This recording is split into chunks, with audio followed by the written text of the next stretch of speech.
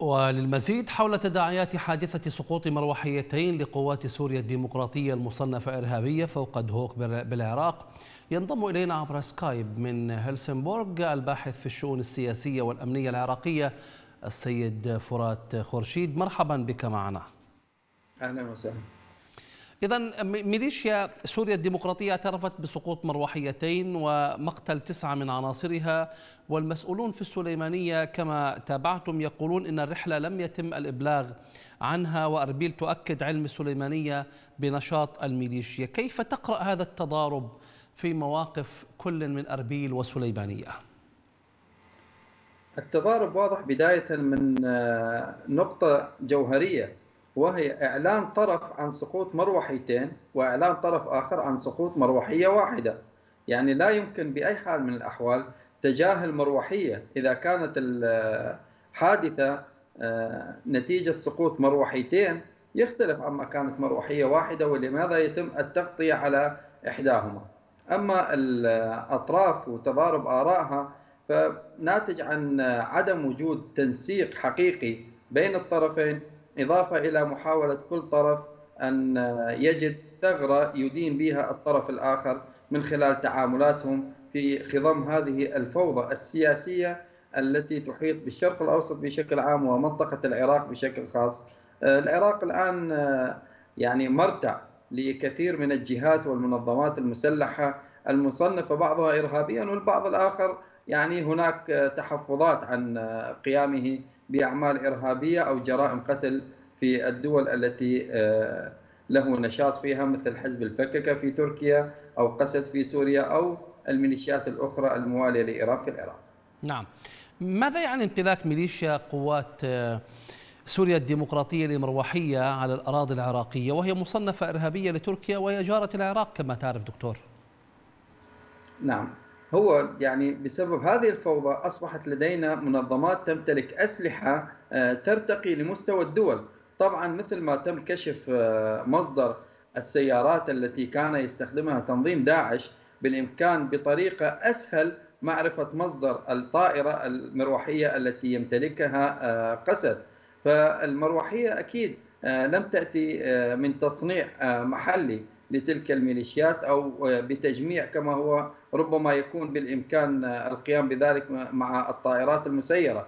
ولكن هذه المروحية وهي فرنسية الصنع لابد من وجود معلومات تؤدي للوصول إلى مصدر هذه الطائرة المروحية من الذي اشتراها وأين آل مصيرها وكيف وصلت إلى حوزة قسد.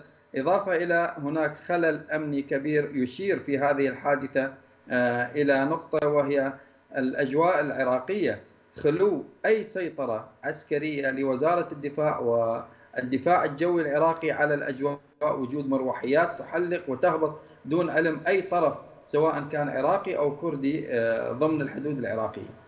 نعم، دكتور آه، كان هناك تلميح آه، تركي بأن من يقف وراء هذه الطائرات هم الأمريكان، هل تعتقد ذلك؟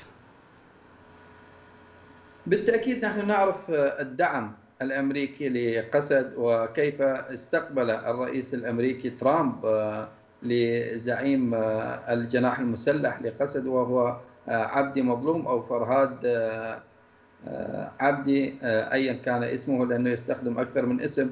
فهناك دعم أمريكي واضح لقسد والأسلحة التي يستخدمها أكيد لها سبيل وطريق وصلت إليه من خلال دعم أمريكي. نعم. كثيرا ما آه، يسمع السوداني وهو يقول بأن العراق لن يكون منطلقا للإضرار بدول الجوار. التصريح كان أثناء لقائه بشامخاني هل تعتقد بأن السوداني يقصد كل الجيران على حد سواء؟ هذا التصريح لا نسمعه فقط لمغازلة إيران. لا يتحدث فيه آه، الساسة العراقيين سواء كان من يشغل منصب رئيس وزراء على اختلاف الوزارات والحكومات السابقة وإلى الآن أو غيرهم من المسؤولين الأمنيين آه، في العراق. لا أحد يتكلم مع تركيا عن آه، عدم رغبة العراق أن يكون منطلق للإضرار بدول الجوار. لا أحد يتكلم عن آه، السعودية لتأمين المناطق الصحراوية في جنوب السماوة مع الحدود جنوبية للعراق والمملكة العربية السعودية.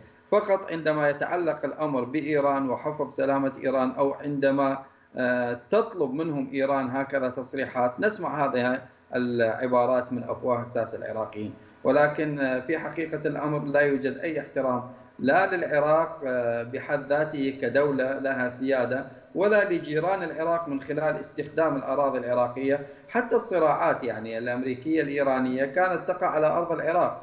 الصواريخ مهما كانت وإن كانت يعني غير مقنعة في وقائعها كان تبادل القصف الأمريكي الإيراني على الأراضي العراقية صورة واضحة لعدم احترام سيادة العراق. واستخدام أراضي العراق للإضرار به أولا ثم بجيرانه.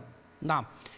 دكتور مظلوم عبدي قائد ميليشيا سوريا الديمقراطية كانت له علاقة قوية بقاسم سليماني قائد فيلق القدس الإيراني. ألا يكشف ذلك لعب إيران بورقة ميليشيا قصد ضد تركيا؟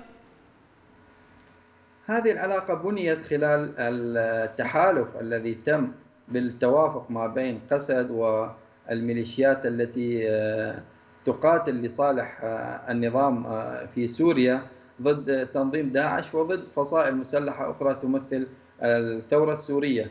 فالعلاقة كانت مبنية على علاقة تنسيق وقتال مشترك ولكن يبقى للجانب الكردي قيادات خاصة به وانتمائه القومي متمثلا بحزب البككة في تركيا أو التنسيق مع الأحزاب الكردية العراقية إما حزب الاتحاد الوطني الكردستاني أو حزب الحزب الديمقراطي الكردستاني. وكان لقصد علاقات وطيدة مع الحزب الديمقراطي الكردستاني.